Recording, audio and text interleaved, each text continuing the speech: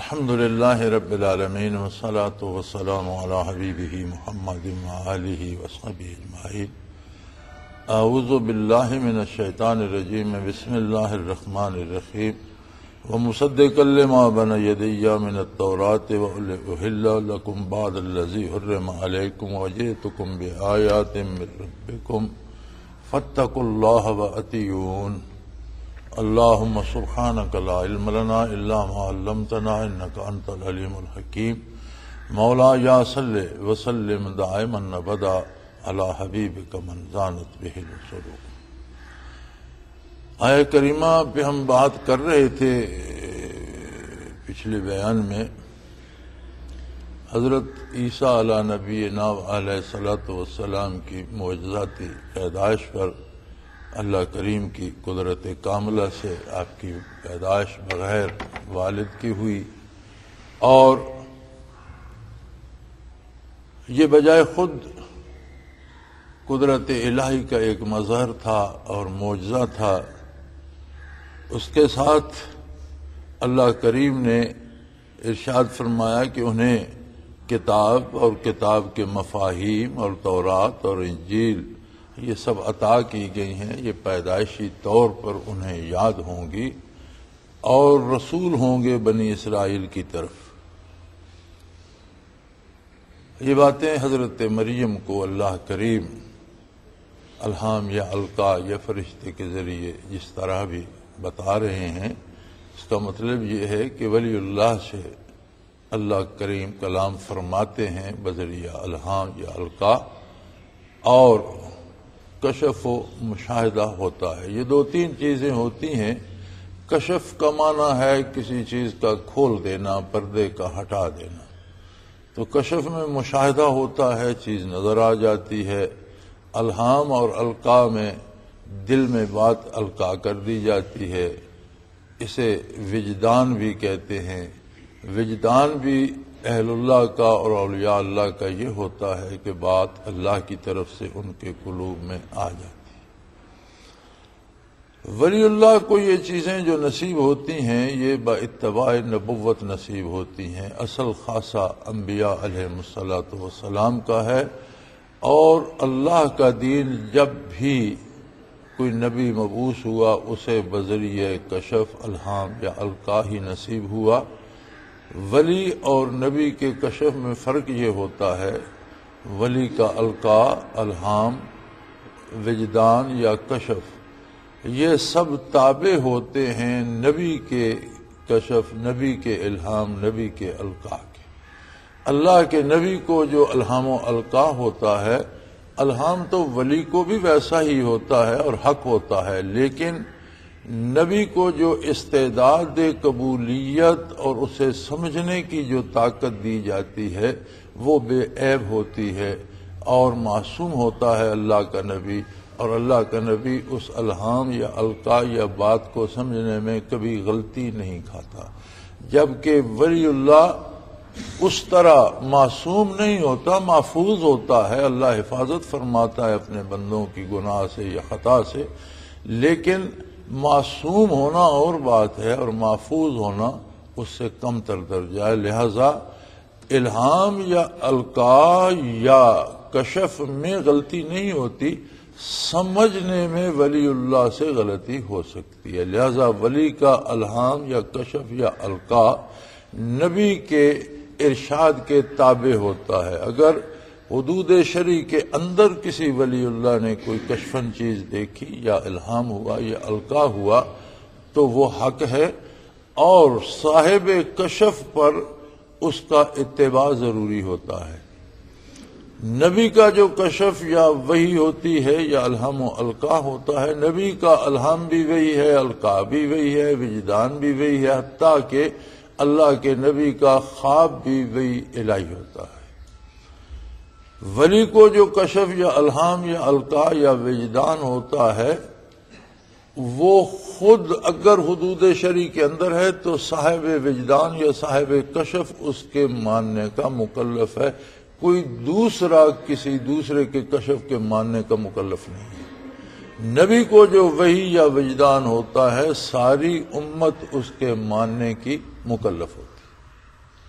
نبی پر جو حکم آتا ہے، یہ نبی کا جو مشاہدہ ہے، یہ نبی جو ارشاد فرماتا ہے، جو کچھ نبی سمجھتا ہے، اس کا مکلف صرف اللہ کا نبی نہیں ہوتا، بلکہ اس کی ساری امت اس پر عمل کرنے کی مکلف ہوتی ولی کو جو مشاہدہ ہوتا ہے، وہ ذاتی طور پر اگر وہ حدود شریع کے اندر ہے، تو اسے ماننے کا مکلف ہے۔ دوسرے لوگ اس کے کشف کو ماننے یا اس پر عمل کرنے کے مکلف نہیں ہوتے۔ یہ بین اور واضح فرق ہوتا ہے اور یہی ہوتا ہے علم لدنی۔ و علم لدنا علما۔ ہم نے اس کو اپنی طرف سے علوم عطا کر دیے۔ اور انبیاء علیہ مسلط وسلام کو ہمیشہ وہبی اور لدنی علوم عطا ہوتے ہیں۔ اللہ کا کوئی نبی بھی دنیا میں کسی کا شاگرد نہیں ہوتا، کسی سے علوم، کسی انسان سے علوم حاصل نہیں کرتا، کسی فرشتے کا شاگرد نہیں ہوتا برائے راست اللہ کریم سے علوم حاصل کرتا ہے۔ چنانچہ اس میں ارشاد فرمایا گیا وہ محم الکتاب کہ ہم عیسیٰ علیہ السلام کو ان کی ولادت کے ساتھ ہی کتاب کے علوم عطا کر دیں گے، حکمت، دانائی مفاہیم کتاب کتاب کی تشریح و تفسیر انہیں عطا کر دیں گے۔ تورات اور انجیل آسمانی کتابوں کے علوم ان کے دل میں سمو دیں گے اور انہیں رسول ہوں، وہ رسول ہوں گے بنی اسرائیل کی طرف۔ اور انہیں ارشاد فرمائیں گے، انی قد جے تو کم بے آیا تم رب میں تمہارے پاس اللہ کی طرف سے معجزات لے کر مبوس ہوا۔ اگر ہم انبیاء علیہ مسلط وسلام کے معجزات کا ایک پہلو سے اگر ان پر ہمیں توفیق ہو، نظر ڈالنے کی اللہ یہ سعادت بخشے، تو ایک پہلو یہ نظر آتا ہے کہ جو نبی جس عہد میں مبوس ہوا اس عہد میں جو کمالات آمد الناس کے پاس تھے اور ان صاحب کمال لوگوں کا ڈنکا بجتا تھا اور لوگ ان کے پیچھے بھاگتے تھے اس طرح کے معجزات اس نبی کو عطا فرمائے گئے۔ جیسے موسا علیہ السلام جب مبوس ہوئے تو جادوگروں کا زور تھا اور فرعون اور فرعون کے جادوگر مشہور تھے۔ تو جو معجزات موسا علیہ السلام کو عطا فرمائے گئے، وہاں جادوگر آجز آگے ان کا جادو ناکام ہو گیا۔ عیسیٰ علیہ السلام جب مبوس ہوئے تو حکمت کا بہت زور تھا اور اتباع بہت عروج پر تھے۔ ہمیں ایک بہت غلط فہمی لگتی ہے اور ہم یہ سمجھتے ہیں کہ آج کی دنیا نے سائنسی مقام پر یا طب میں یا طبیعات میں یا علوم ابدان میں بہت ترقی کر لی ہے اور ہم بڑے حیرت انگیز طریقے سے اس میں گرفتار ہیں۔ حالانکہ دنیا میں بے شمار قومیں ایسی گزری ہیں جو آد حاضرہ سے سائنسی ترقی میں بہت آگے تھی۔ مثلا اگر نو علیہ السلام کے زمانے کے افراد کو دیکھا جائے اور اس وقت کی تاریخ پہ نظر کی جائے تو یہ پتہ چلتا ہے کہ آج کی سائنسی ترقی کے مقابلے میں وہ بہت زیادہ آگے نکل گئے۔ انہوں نے آج ہم نے سورج کی شعاؤں سے لیزر ایجاد کیا اور بڑی دیر بعد آج بہت جدید طریقے سے ہم روشنی سے شعا لے کر لیزر کو استعمال کر رہے ہیں۔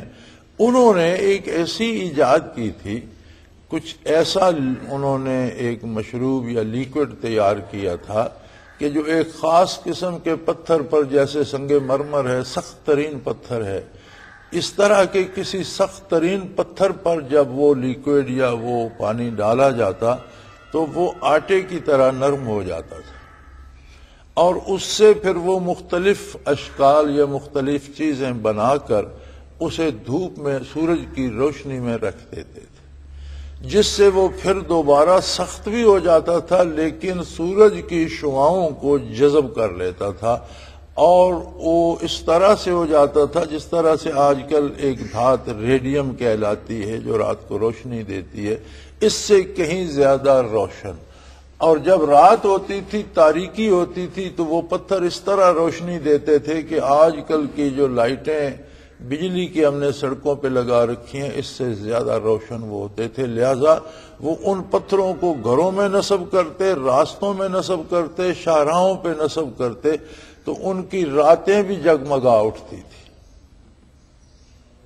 اس تفصیل میں اگر جائیں تو یہ بہت لمبی ہے، لیکن ان کی یہ جو مادی ایجادات تھیں اور سائنسی جو ترقیاں تھیں، یہ ایک بہت بڑا سبب تھی انہیں نو علیہ السلام کی بات ماننے سے روکنے کا۔ وہ سمجھتے تھے کہ سب کچھ تو ہمارے ہاتھ میں اتنے کمالات ہم کر لیتے ہیں اور یہ بندہ ہمیں پھر واپس ترقی کی اس منزل سے ہمیں ہٹا کر یہ واپس قدامت پسندی کے دور میں لے جاتا ہے اور ہم پھر سے داڑیاں بڑھائے پھریں اور ہاتھ منہ دھوتے پھریں اور بار بار وضو کرتے پھریں اور ایک پرانی رسم ہے، ہم نماز روزے کرتے پھریں، یہ تو قدامت پسندی ہے۔ تو وہ بھی تہذیب جدید کے اتنے گرفتار تھے کہ ساڑھے نو سو سال کی اللہ کے رسول کی تبلیغ انہیں متاثر نہ کر سکی۔ بعض روایات میں ہے کہ جب طوفان آیا اور حضرت نو علیہ السلام نے تمام مسلمان مرد و زن کشتی میں سوار کیے تو ان کی تعداد اسی کے لگ بھگ تھی۔ یہ حاصل تھا ساڑھے نو سو سال کی محنت کا کہ وہ مادی ترقی کے اس قدر اسیر ہو گئے تھے کہ وہ دین کو، اسلامی عقائد و نظریات کو، آخرت کو حشر نشر کو برزخ کو وہ سمجھتے تھے یہ تو پرانے خیالات ہیں اور جن لوگوں کے پاس مادی ترقی نہیں تھی، اس طرح سے وہ سوچا کرتے تھے۔ جن کے پاس دنیا کی کوئی نعمت نہیں تھی، وہ اس طرح سے سوچا کرتے تھے کہ ایک اور جہان ہوگا اور اس میں ہمیں بہت خوشیاں ملیں گی، بہت نعمتیں۔ کیونکہ ان کے پاس دنیا پہ تھا کچھ نہیں، تو اپنا دل خوش کرنے کے لیے اس طرح کے تصورات سوچ لیا کرتے تھے۔ اور یہی مسئلہ ہمارا آج کا بھی ہے، بلکہ میں آج بھی یہ ایک اصطلاح پڑھ کر ایک کالم میں تو بڑا حیران ہو رہا تھا۔ ایک اصطلاح رواج پا گئی ہے ہم میں، اسلام پسند۔ اسلام پسندوں نے یہ کیا، اسلام پسندوں نے وہ کیا۔ اس اصطلاح کا مفہوم کم از کم میری سمجھ میں نہیں آ رہا۔ اسلام پسندی یا اسلام ناپسندی دو ہی راستے ہیں۔ جسے اسلام پسند نہیں ہے، وہ اسلام قبول نہ کرے، بات ختم ہو گئی۔ کوئی اسلام میں زبردستی تو ہے نہیں کہ زبردستی کسی پہ اسلام ٹھونسا جائے۔ لہذا دو ہی ہیں، یا مسلم ہے یا کافر ہے۔ جو اسلام کو قبول کرتا ہے، وہ پسند کیسے نہیں کرتا؟ اگر پسند نہیں کرتا تو قبول کیوں کرتا ہے؟ یہ بات، یہ فلسفہ آج کا جو ہے نئی تہذیب کا، یہ کم از کم میری سمجھ میں نہیں آ رہا کہ مسلمان بھی ہے اور اسلام پسند نہیں ہے یعنی اسلام کو ناپسند کرتا ہے۔ کمال ہے، عجیب بات ہے، جو بات آپ کو پسند نہیں ہے، آپ وہ اپنے گلے کیوں ڈالتے ہیں؟ یہی مسئلہ اسلام پسندی اور ناپسندی کا نو علیہ السلام کی قوم کو تھا، اور وہ کہتے تھے کہ ہم ترقی کی اس منزل پر ہیں کہ ساری نعمتیں، ساری راحتیں ہمارے قدموں میں ہیں۔ اور یہ کس طرح ہو سکتا ہے کہ ہم واپس اس دور میں چلے جائیں جو قدامت پسندوں کا تھا اور جو ترقی سے محروم لوگوں کا تھا، جن کے پاس دنیا میں کوئی راحت کا سامان تو تھا نہیں، نہ بجلی تھی، نہ انہیں کوئی دوسرے وسائل حاصل تھے، نہ اچھی سواریاں تھیں، نہ کنوینس تھی، نہ ٹیلی فون تھا، نہ کوئی ٹیلی ویژن تھا۔ تو جنہوں نے پتھروں کو روشنی دے دی تھی، انہوں نے اور کیا کیا ایجاد کیا ہوگا؟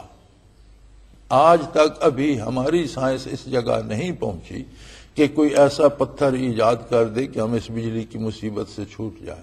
وہ اس سے بہت آگے نکل گئے تھے۔ اسی طرح آپ احرام مصر کو دیکھ لیجیے، جن میں جو چھوٹا پتھر ہے، وہ بھی کم از کم دو ٹن کا تو ہے یا ڈھائی ٹن کا ہے اور پندرہ پندرہ ٹن کے پتھر لگے ہوئے ہیں اور اس طرح سے لگے ہوئے ہیں کہ صدیاں گزر جانے کے باوجود ابھی تک ان کے جوڑ نظر نہیں آتے اور کس بلندی تک لگے ہوئے ہیں؟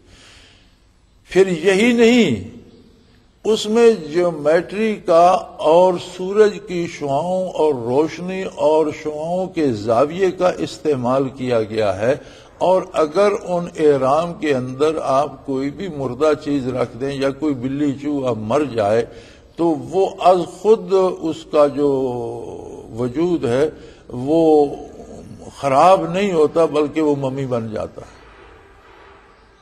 وہ اثر ہے جو سورج کی شعائیں اس پر احرام پر اتنی بڑی عمارت ہے اور اتنے بڑے بڑے پتھر ہیں، چٹانیں لگی ہوئی ہیں، لیکن اس کا جو میٹریکلی اور سورج کی شعاؤں کی رفتار اور ان کے زاویے اور اس عمارت کے زاویے کے درمیان اس طرح کا ربط کیا گیا اور اس میں سائنسی کمال یہ ہے کہ جو جو سورج اس پر سے گزرتا ہے، ہر زاویے سے جو شعائیں پڑتی ہیں وہ اس کے اندر کی چیز کو متافن نہیں ہونے دیتی۔ ہم نے آج ڈیپ فریزر اور فریج اور یہ ایجاد کی اور اس کے لیے ہمیں بجلی کی ضرورت پڑی۔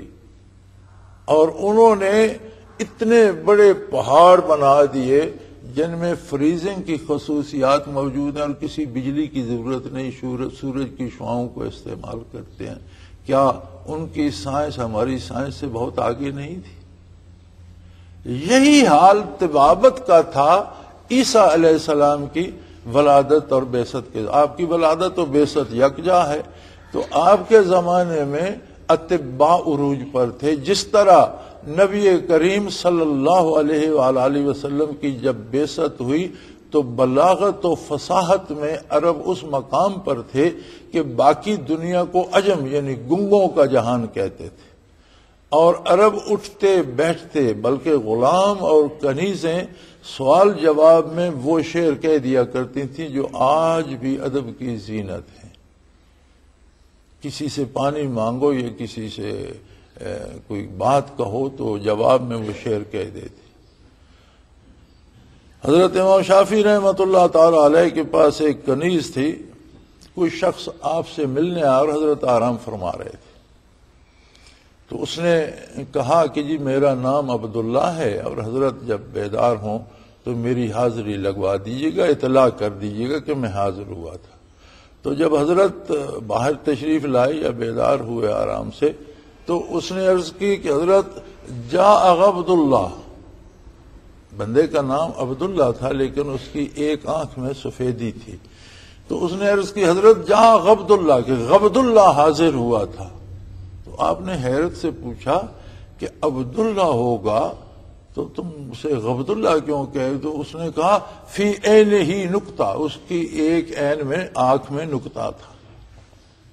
این پر نکتا ڈالیں تو غین بن جاتی ہے۔ آپ ذرا ذوق، ادبی ذوق دیکھیں کہ اس نے سارا تعارف صرف نام میں کرا دیا کہ حضرت جہاں غبد اللہ آپ نے فرمایا غبد اللہ یا عبداللہ؟ اس نے فی عین ہی نکتا کہ اس کی آنکھ میں، اس کی عین میں نکتا تھا، اور نقطے سے عین تو غیر بن جاتی ہے غبد اللہ یعنی جس کی آنکھ میں سفیدی ہے، پورا تعارف ایک جملے میں کرا دیا۔ تو یہ ادب جو تھا، فصاحت و بلاغت جو تھی، وہ اپنے کمال پر تھی۔ عرب میں حضور نبی کریم مبوس ہوئے تو آپ ایک چھوٹے چھوٹے جملے میں معنی کے جہان سمو دیے اور بڑے سے بڑے جو تھے، ادیب اور شاعر اور فصیح و بلی لوگ آجز آگے حتیٰ کہ دعوت دی قرآن نے کہ ادب میں تم بہت کمال پر ہو۔ ذرا قرآن کی طرح کا ایک جملہ تو بنا کر دکھاؤ۔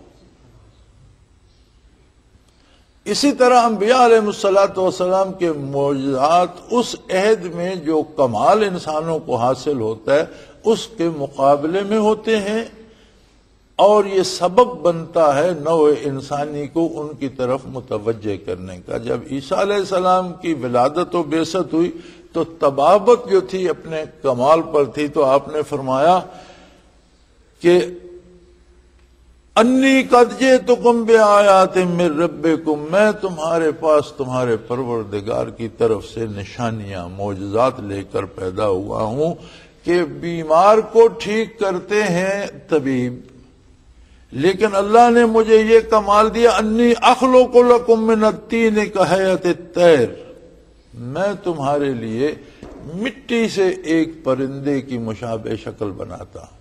مٹی کا ایک کھلونا، ایک پرندہ بناتا ہوں فنف خوفی ہے میں اس پر پھونک ماروں گا فیقون تیرم بزن اللہ اللہ کے حکم سے وہ پرندہ زندہ ہو جائے گا، زندہ پرندہ بن جائے گا۔ یعنی بیمار کو ٹھیک کرنا، قریب المرگ کو صحت مند کر دینا تو طب کا کمال ہے۔ اب مٹی کی ایک مورت بنا کر اسے زندہ کر دینا، یہ طب کے بس میں نہیں ہے۔ طب آجز آ گئی۔ یہ موجزہ تھا آپ کا۔ اور جائز کلام ہو، آیات اللہ ہو مقصد جائز ہو، تو اللہ کا نام لے کر درود شریف پڑھ کر پھونک مارنا، دم کرنا، اس کا جواز بھی ثابت ہو گیا۔ کچھ صاحب کرام رضوان اللہ علیہ مجمعین کہیں سفر پر تھے، باہر سے آ رہے تھے، تو خانہ بدوش راستے میں تھے تو انہوں نے دیکھا بھائی آپ لوگ تو چہرے سے ہی نیک لوگ لگتے ہیں اور ہمارے ایک آدمی کو سانپ نے ڈس لیا ہے اور ہم نے بڑا علاج کیا اور بڑے وہ جو ٹوٹکے تھے استعمال کیے اور اس کی حالت جوں جوں بگڑ رہی ہے، کچھ آپ ہماری مدد کر سکیں۔ تو ایک صحابی نے اسے دم کر دیا صورت فاتحہ پڑھ کر اللہ کی شان بچنگا بھلا ہو گیا۔ اب انہوں نے کچھ بکریاں توحفہ تن ہدیہ تن دے دیں کہ ہمارا مریض ٹھیک ہو گیا ہے، تو یہ ہماری طرف سے ہدیہ، یہ بکریاں لے لیں۔ اب انہیں نہ دم کرنے کی اجازت تھی، نہ یہ پتا تھا کہ صورت فاتح سے یہ ٹھیک ہو جائے گا، نہ یہ پتا تھا کہ اب یہ بکریاں لینا درست ہے یا نہیں۔ تو وہ بکریاں لے کر سیدھے بارگاہ رسالت پناہی میں حاضر ہوئے اور سارا ماجرہ عرض کیا اور پوچھنا یہ چاہا کہ یا رسول اللہ، ان بکریوں کا لینا جائز ہے؟ آپ صلی اللہ علیہ وسلم نے استغفار فرمایا کہ کیا دم کیا تھا؟ یا رسول اللہ، میں نے تو سورت فاتحہ پڑھ کر بھونک مار دی تھی۔ فرمایا، تمہیں کس نے کہا کہ اس میں یہ قوت بھی ہے اور یہ دم بھی ہے؟ یا رسول اللہ، بس دل میں بات آئی، میں نے فرمایا، تم نے ٹھیک کیا اور وہ بچ گیا اور علاج کے لیے اگر دم کرتے ہیں آپ، تو اس پر اجرت لینا بھی جائز ہے۔ ان بکریوں میں حضور نے فرمایا، میرا حصہ بھی رکھنا۔ صلی اللہ علیہ وسلم۔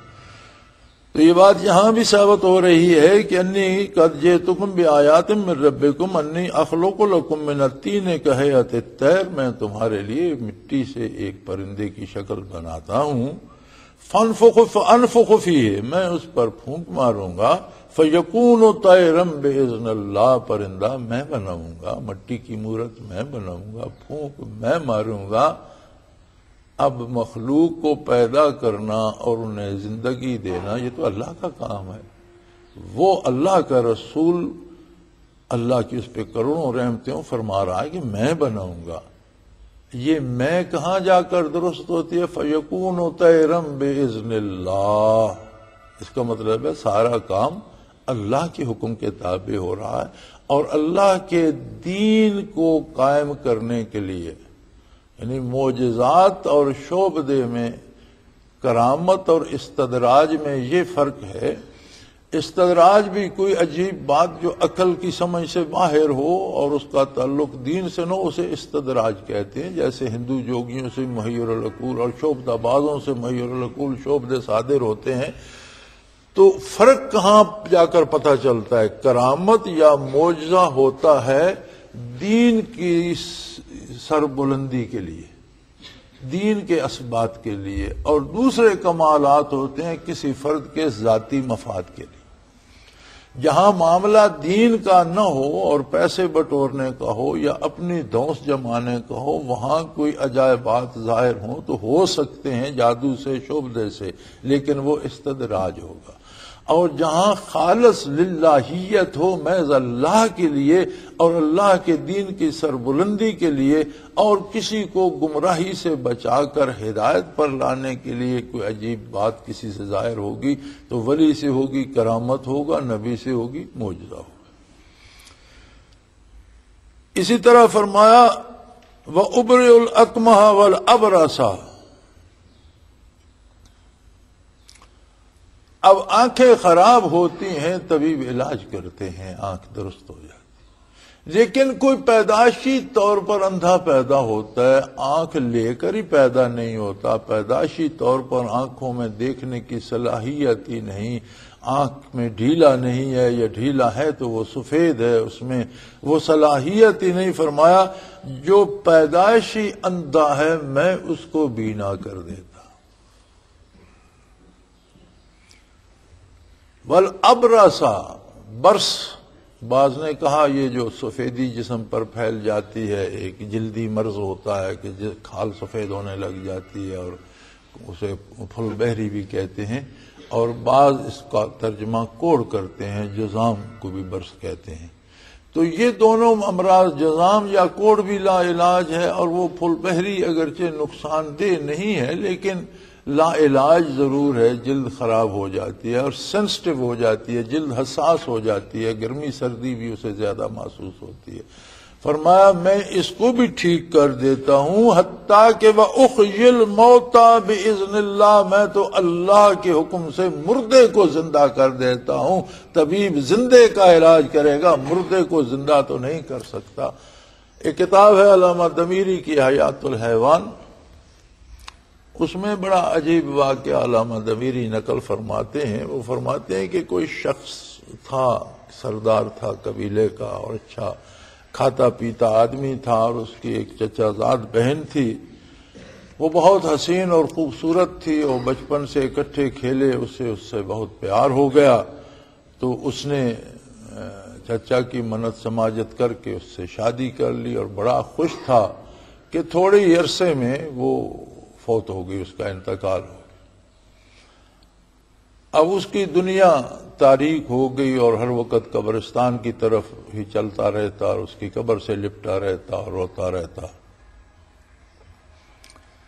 وہ فرماتے ہیں، عیسیٰ علیہ السلام کا گزر ہوا تو وہ اس قبرستان میں گھوم رہا تھا تو آپ نے پوچھا کہ تم بظاہر تو اچھے کھاتے پیتے آدمی نظر آتے ہو، لباس سے بھی، حلیے سے بھی، شکل سے بھی پریشان کیوں ہو؟ اس نے سارا ماجرا عرض کیا کہ اس طرح سے میری بیوی فوت ہو گئی تو آپ نے فرمایا، مجھے قبر دیکھو میں اللہ کے حکم سے زندہ کر دیتا ہوں۔ وہ بڑا خوش ہوا اور اس پریشانی میں کسی اور قبر پر لے گیا آپ نے فرمایا، کم بزن اللہ اللہ کے حکم سے زندہ ہو کر کھڑا ہو جا تو قبر میں سے ایک حبشی غلام نکلا۔ اس کے منہ سے اور ناک سے آگ کے شعلے نکل رہے تھے اور آنکھیں پتھرائی ہوئی تھی لیکن جیسے باہر نکلا تو اس نے کہا، لا الہ الا اللہ، عیسیٰ روح اللہ۔ تو وہ آگ سرد ہو گئی، وہ اس نے اسلام قبول کر لیا۔ تو حضرت عیسیٰ علیہ السلام نے فرمایا بھائی یہ تو یہ غلام ہے۔ تو کہنے لگا جی میں بھول گیا ہوں، میں اس گھبراہٹ میں، وہ ساتھ والی قبر ہے۔ آپ نے اس غلام سے کہا کہ بھئی چلے جاؤ جہاں سے آئے ہو۔ وہ واپس قبر میں داخل ہو گیا۔ اب دوسری قبر پہ آپ نے حکم دیا، کم بیزن اللہ اللہ کے حکم سے جی اٹھو۔ تو وہ لڑکی جی اٹھی، بہت خوش ہوا، وہ آپس میں مل گئے۔ عیسیٰ علیہ السلام اپنے راستے پہ جا رہے تھے، تشریف لے گئے۔ کچھ دن ہی گزرے، وہ بڑا خوش تھا کہ کوئی اور تاجر جو خوبصورت بھی تھا، جوان بھی تھا اور قبیلے کا سردار بھی تھا اور اپنے تجارتی سفر پر تھا، اس کا وہاں سے گزر ہوا اور لڑکی پر وہ فریفتہ ہو گیا اور لڑکی نے دیکھا تو لڑکی بھی اس پر فریفتہ ہو اب یہاں تو محبت یک طرفہ تھی کہ یہ لڑکی سے پیار کرتا تھا، لیکن لڑکی کو شاید اس سے نہ ہوگا۔ تو جب وہ بندہ سامنے آیا تو اس عورت کو بھی اس سے رغبت پیدا ہو گئی اور اس نے اسے ساتھ لیا اور وہ چلا گیا۔ جب یہ واپس کہیں گیا ہوا تھا، گھر پہنچا اور پوچھا، میری بیوی تو لوگوں نے بتایا کہ فلاں تاجر گزرا ہے اور اس نے اسے، اس کے ساتھ وہ تو چلی گئی ہے۔ وہ ان کے پیچھے گھوڑا سر پٹ دوڑاتا ہوا، اس نے کسی منزل پہ ان کو جا پکڑا اور اس نے کہا، کمال آدمی ہو، میری بیوی لیے جا رہے اس نے کہا، یہ تمہاری بیوی تو نہیں، یہ تو میری کنیز ہے۔ آدمیوں کی دو آدمیوں کی شکل ایک جیسی ہو سکتی ہے، ہو سکتا ہے تمہاری بیوی اس شکل کی ہو، لیکن یہ تو میری کنیز ہے۔ اس نے بیوی سے بات کی، اس نے کہا، میں تو تمہیں نہیں جانتی، میں تو اس کی کنیز ہوں۔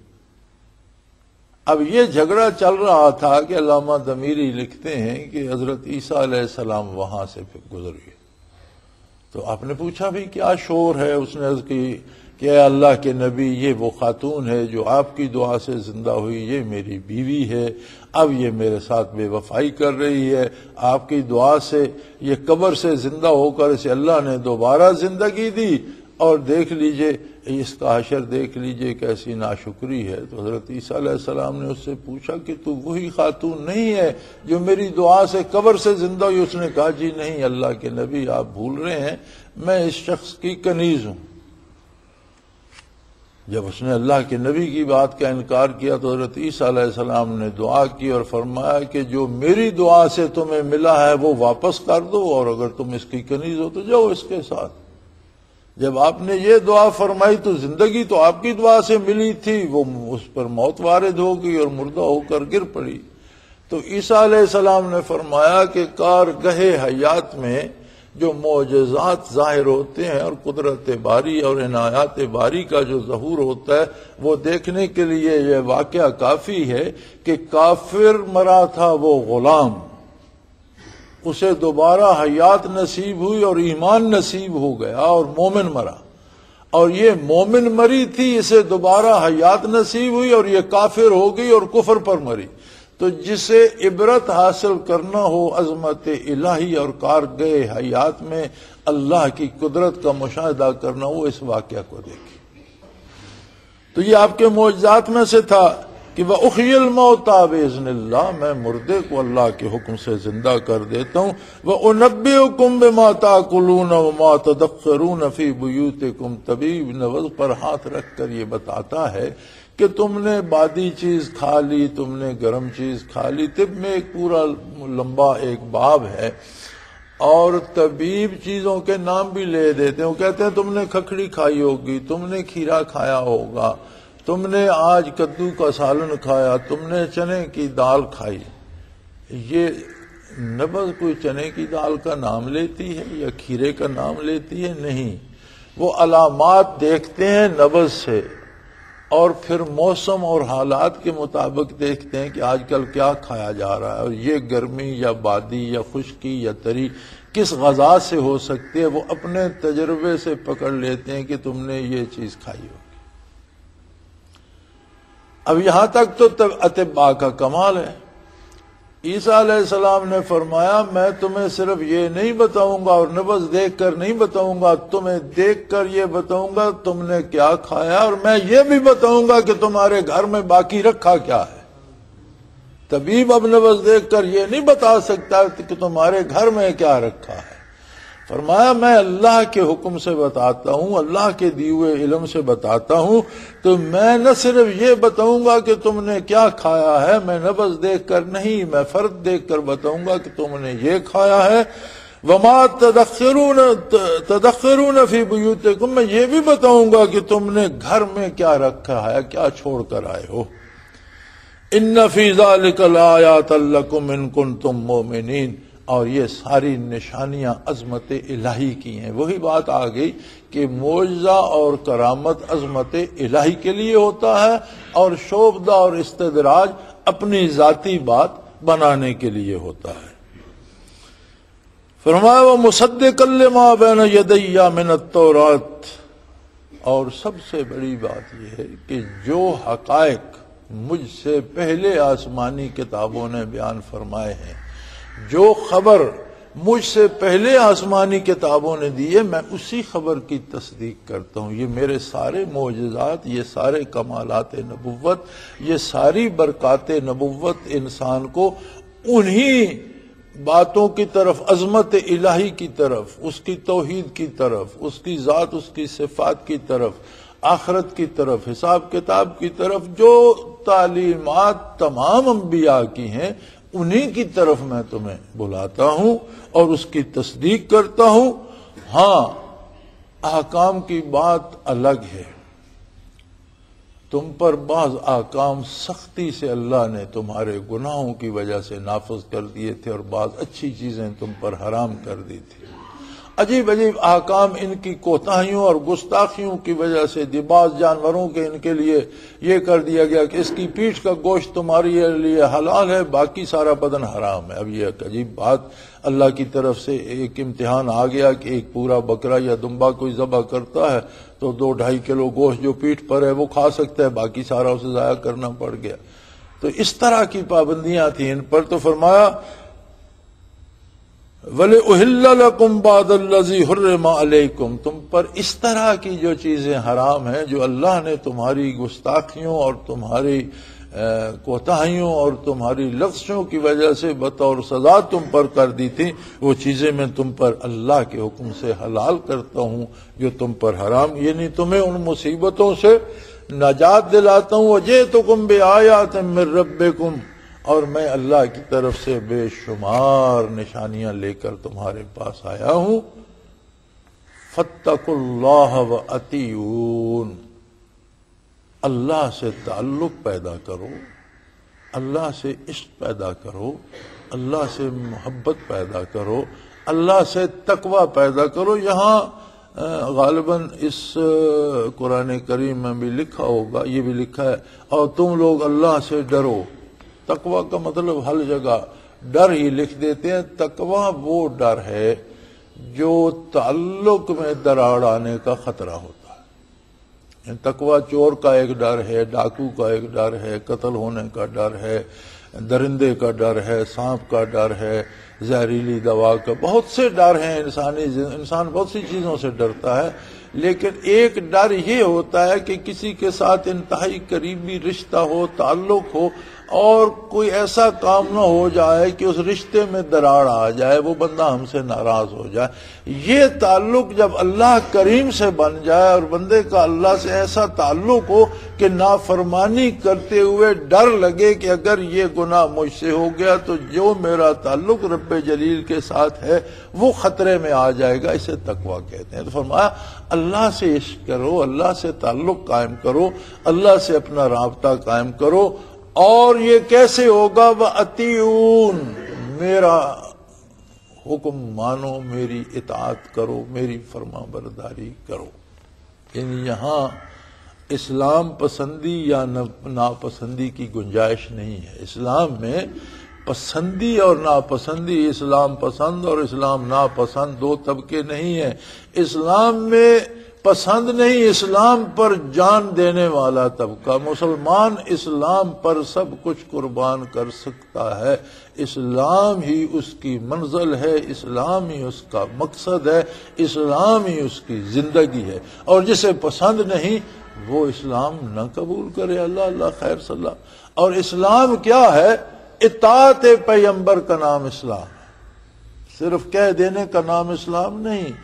کہہ دینے سے بھی بندہ مسلمان شمار ہو جاتا ہے کلمہ پڑھنے سے، لیکن اس کی گواہی دیتا ہے بندے کا کردار فرمایا فتق اللہ و اتیون اللہ سے جو تعلق ہے، وہ باقی رہتا ہے اطاعت پیمبر پر۔ جتنی نبی صلی اللہ علیہ وسلم کی اطاعت ہوگی، جتنی اللہ کے رسول کی اطاعت ہوگی، اتنا وہ تعلق مضبوط سے مضبوط تر ہوتا جائے گا اور جتنی اطاعت میں کمی آتی جائے گی، وہ تعلق کمزور ہوتا جائے گا۔ حتیٰ کہ خدا نہ کرے، پھر وہ تعلق ٹوٹ بھی جاتا ہے۔ اور جب ٹوٹتا ہے تو بندہ مسلمان نہیں رہتا اور چاہے جو مرضی نظریہ اور عقیدہ اپنا، وہ عقیدہ نہیں رہتا جو محمد الرسول اللہ علیہ وسلم نے تعلیم فرمایا اور جو حضور چاہتے ہیں، وہ نہیں رہتا۔ پھر کسی اور کو نبی مان لے یا کسی اور عقیدے میں چلا جائے۔ اور یہی وجہ ہے عہد حاضرہ کی کہ ایک گھر کے پانچ فرد ہیں تو پانچ عقیدے بھی وہاں ہیں۔ کیوں؟ عقائد میں تفریق کہاں سے آ گئی؟ اتباع رسالت چھوٹا تو رفتہ رفتہ وہ ڈور بھی کٹ گئی جو تعلق کی تھی، جو رشتے کی تھی، جو ایمان جسے کہتے ہیں۔ تو آدمی گمراہی کے، اور جب کوئی گمراہ ہوتا ہے تو اللہ کو پرواہ نہیں کہ وہ کس گڑھے میں گر کر مرتا ہے، وہ کس فرقے میں جاتا ہے۔ جیسے پتنگ کی ڈور کٹ جائے تو کس کو پرواہ ہے کہ وہ کہاں الجھی بلجی بجلی کی تار سے الجھے یا کسی کی کر کے درخت سے الجھے یا کسی چھت پر گری یا کسی سہن میں یا گلی میں ڈور کٹ گئی؟ اب جس کے ہاتھ میں ڈور تھی اسے تو کوئی پرواہ نہیں ہے، وہ اس کے پیچھے نہیں بھاگے گا۔ گئی اس کے ہاتھ سے۔ تو اللہ کو کیا پرواہ ہے کہ جب وہ اللہ سے تعلق توڑ لیتا ہے تو کہاں جاتا ہے اور کس وادی میں ہلاک ہوتا ہے؟ سو فرمایا فتح اللہ۔ اللہ سے اپنا تعلق جو ہے اس میں دراڑ آنے سے ڈرو۔ وہ اتی اور میں اللہ کا رسول ہوں۔ میری اطاعت کرو۔ اللہ کریم توفیق عطا فرمائے۔ واخر دعوانا الحمد للہ رب العالمین۔